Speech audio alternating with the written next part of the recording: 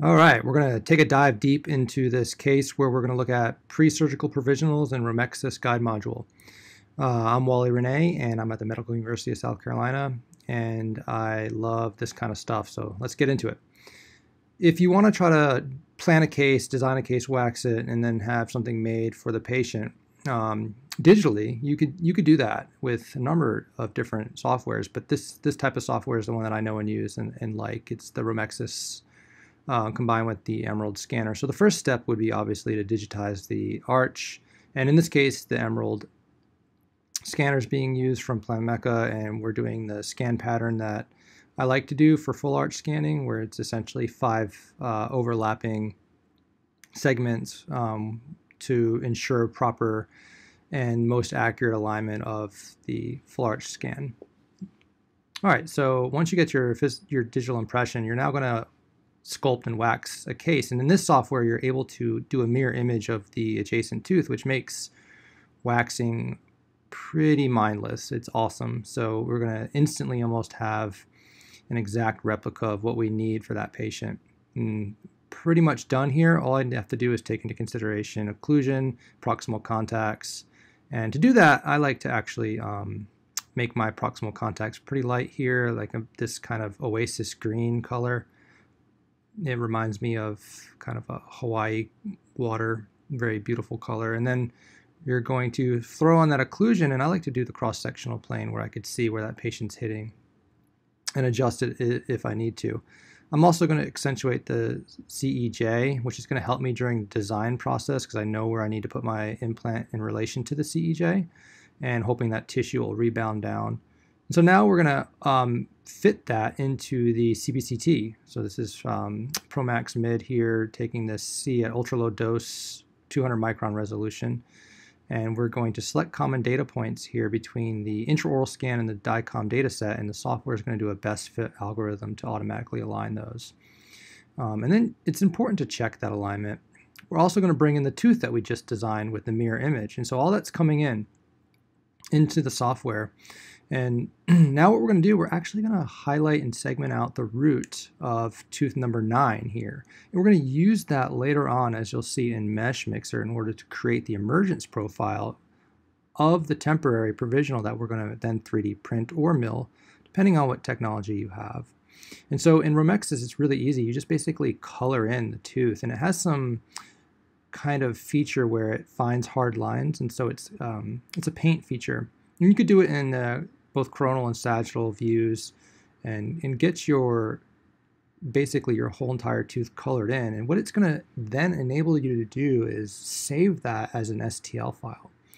And so you can see now we've segmented out that root, and we're going to hit finish, and we have a virtual representation of that patient's root there. Okay, so once we have that, we're going to go ahead and plan the case. In this instance, we're going to throw in a Straumann because I want to show you guys how automatic it is with certain implant brands.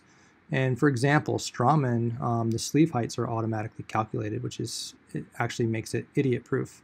And so you're going to place your implant. Um, you're going to try to do whatever philosophy you have, whether it's um, you know three apical to the CEJ and two palatal, and kind of the three two rule, um, which is what I've been taught and used. And now you're going to check your pal your emergence there and um, triple check that you have everything correct. And now I'm just deepening that a little bit because I wasn't quite three there. So now I'm right about three and I'm right about two. And so I'm pretty happy with that. Rotate an implant centric view and I think we're good to go.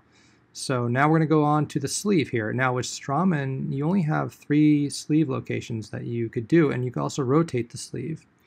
And so I'm just going to rotate the sleeve. I like it to be um, so it fits in the space better by clicking on the sleeve and actually dragging the rotate. Now I'm adjusting the height of the sleeve, and you just want it to be as close as you get to the tissue without touching the tissue. Now, if you weren't using Straumann and you were using some of the other um, implants, you have to know all these numbers in order to be uh, able to calculate your distance to sleeve number. That's a whole nother lecture, a whole nother talk. But now into the guide module, it's really simple. You're just going to circumscribe the area to which you want the guide to fit. Make sure that you have um, your tooth not visible in this instance. pick what printer you have or pick a custom printer um, settings. In my case, I find the, the default settings be pretty spot on as far as the fit and retention of the sleeve. And then the sleeve holder parameters are default set to the Straumann sleeve. Now, if you were using a sleeve that wasn't in the library, you could just make whatever parameters you want. Once that's rendered, you're going to use the tools to just trim that up and sculpt that however you want it. Maybe put some holes in so you could verify seating on the day of surgery and um, smooth out any rough edges. Maybe open up some space for irrigation. Um, do bear in mind that if you do that, you can actually cut a hole in the actual sleeve like that. So sleeve holder, so be careful. And yeah, that's about it. You might want to stamp the patient's name on there. You could add a bar. It's not necessary though. I just was showing you guys that you could do that. And so stamp some something in there so you know what it is. It actually then will export that as STL and then re-import it into the models so that you could then triple check your burr length, your total drill length measurements, and everything that you need, your distance implant. Make sure everything's spot on. You could then export a PDF uh, kind of cookbook guide of what implant you're placing, what your total drill length is, your distance to sleeve, and all that kind of stuff. And it gives you some cool cross-sectional views. Now, if you want to take it one step further, you could also design the temp abutment that you're going to use. Now, bear in mind, there is no timing to this. Um, so you're just going to make a generic, and the temp abutments though are just generic cylinders, which is super helpful in the case where you don't have timing. And so you're just going to do an exact replica of your temp abutment. Um, and you're able to adjust all the parameters so that you could literally have now a complete representation of what your temp cylinder is going to be on the day of surgery if you're going to make a immediate provisional. And so you're able to enter all these different parameters in and you're going to customize that. And now it's exporting. So we're going to be able to export everything. So, and of course there's at least uh, I think the model is and there's no charge for any export of anything. You just buy the software once, which I like that. So now we're going to bring all that into Meshmixer, all those exports. And this is where it gets kind of fun. So I have my implant, it's just kind of a generic tube. I have my abutment, I have this extension tube that I created through the abutment. I'm going to combine those and make them solid. Okay. Now I have my tooth that I designed. That's a mirror image of the other tooth. I'm going to now make that solid. Okay. And now what I'm going to do is I'm going to actually use like um, inflate and I'm going to sculpt a little bit around the abutment. I'm going to use bubble smooth and I'm going to make sure there's no folds or creases on the intaglio surface of that crown.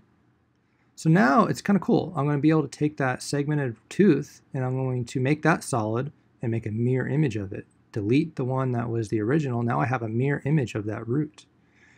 Now I'm going to use transform and superimpose that onto the tooth that I designed. That's in proper occlusion and everything.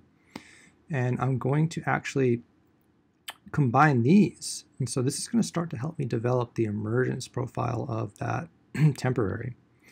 And um, you're going to be able to see through it and everything like that. What I'm going to do to the difference is use bubble smooth and hit control and it's going to erase anything that's, I want my original crown I designed because I thought it was super hot, so I'm going to just keep that. Combine those, make them a solid, and now I'm going to smooth it up. So now I have a perfect mirror image of the root, and I already designed the perfect mirror image of the tooth. Now I'm going to throw on my abutment that I designed, which is based off the exact abutment from my temp cylinder with my extension tube sitting up. I'm going to smooth it and cut it. Let me make it gold for you so you can see that it's hot. And I put the magnetic feature on so you can see through. And we're just going to manipulate the slice plane right at where my abutment margin is going to be. Cut it, and then use bubble smooth. Pretty much done here. You could manipulate this. There's a little seam. It's hard to see on that abutment, but there's a little seam where the margin is. so I'm just trying to get it perfect to that. And you could use the move feature and drag as well. And within about five minutes, you're able to now have this tooth.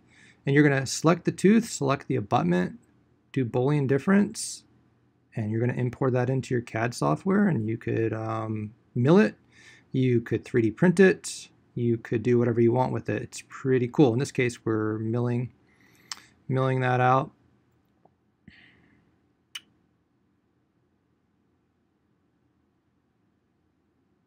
And I think that's a resin block material so that we could add to it if we need to. We could reline it easy.